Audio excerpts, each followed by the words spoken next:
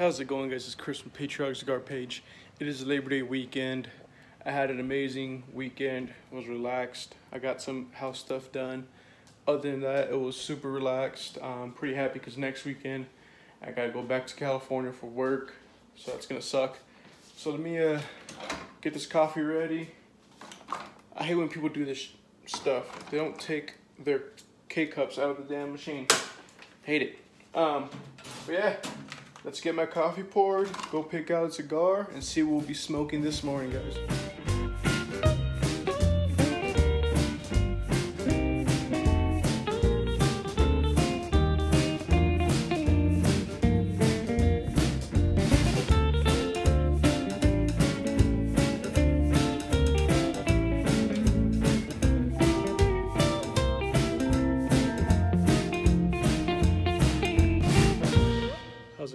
Guys? You guys saw in the last couple clips, I am smoking the Gurkha Master Select Connecticut.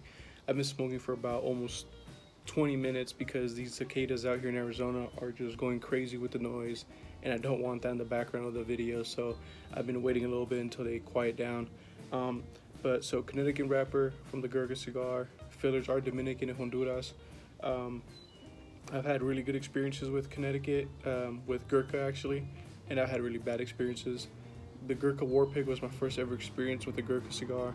It was just horrible. Tasted was the taste was horrible. Um, the burn was worse. Um, and not trying to bash on Gurkha because they make a really good cigar, like this Gurkha Master Select Connecticut and the Gurkha Cellar Reserve 15. They make a, a bunch of good cigars and they make a lot of cigars. Um, so you are gonna get you know a couple bad ones. Um, but I mean, from the beginning of the cigar, I'm tasting slight cedar, a little bit of leather, um, very, very earthy, floral uh, notes coming out of the cigar, going very well with the coffee in the morning. It is a, a, mild cigar, very, very mild. I already had breakfast, so I'm good to go with smoking cigars because I don't want to get sick. Um, and you might hear the cicadas, they're going, making noise again. It's crazy out here. We had a huge monsoon storm yesterday. It was very, very windy. Um, but I'll keep smoking down to the middle portion. I want to cut this clip short before the cicadas go crazy. Uh, I'll smoke down some middle portion, see if the notes change at all, and I'll get back to you guys in a bit. So I'm down to middle portion, guys, and the notes actually did change a lot. And it was a little of a shocker because I'm getting notes that I didn't get the other times that I smoked the same exact cigar. It's maybe because I'm focusing more on the cigar now. Um, and for me, when I want to get the full experience of a cigar, I have to, you know, put the videos away. I tend to watch YouTube when I uh, smoke cigars like right now I'm smoke I'm watching uh, Whiskey Vault on YouTube. I'm trying to get into whiskey and learn more about whiskey because I want to know what I'm talking about when I introduce whiskey to people. So I've been watching the Whiskey Vault on YouTube. Definitely check them out if you are a whiskey person or getting into whiskey. They're very, very informative. They know a lot. Um, so I paused the video, started focusing more on the cigar, drinking my coffee, and I got strong cocoa, hot chocolate, uh, bitter coffee uh, notes on there. The aroma is amazing. The aroma is very chocolatey creamy, creamy cigar. And the burn is just perfect. I have not touched that up, guys. I am coning a little bit. I might be smoking a little too fast. Other than that, it is burning perfectly, guys.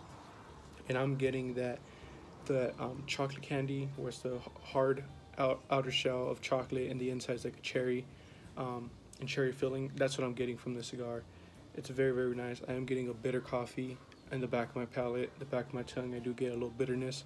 Nothing too strong nothing that overpowers the creaminess and that hot chocolate cocoa flavors coming off the cigar.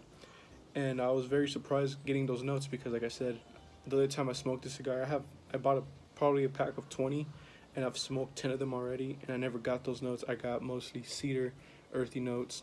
So it was very it was a shock when I started tasting those uh, chocolatey notes that I usually get from a Nicaraguan tobacco. Um, but it's an amazing cigar, guys and especially if you buy them for super cheap i bought these i think about three dollars a stick super cheap and the construction is amazing. Um, so i definitely recommend it guys. I don't know what i'll be smoking later tonight. Um, i'm definitely gonna pour me some whiskey. After watching the whiskey vault i've been wanting to drink some whiskey.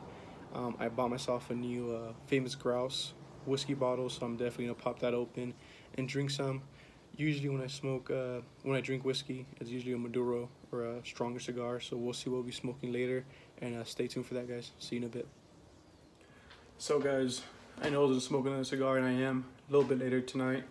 But right now, I gotta prep for dinner. We're having chicken fajitas. So we went to the grocery store and we bought all, all the things that we need. Um, but before I start prepping, I'm gonna go to that whiskey rack right there and pick something out to drink while I prep. So, told you guys I was gonna have a cigar with some famous grouse that I just bought about two days ago. But while I was out grocery shopping with my fiance, I found this. Basil Hayden's. I've never tried it. I heard it's really good bourbon. So I'm actually gonna have a cigar with Basil Hayden's and while I prep the food, I'm gonna pour some famous grouse. So let's get to it guys.